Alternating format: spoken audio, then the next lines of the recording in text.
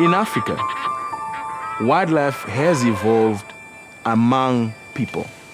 People will always have an impact on wildlife conservation. Conservation that does not involve them will not work.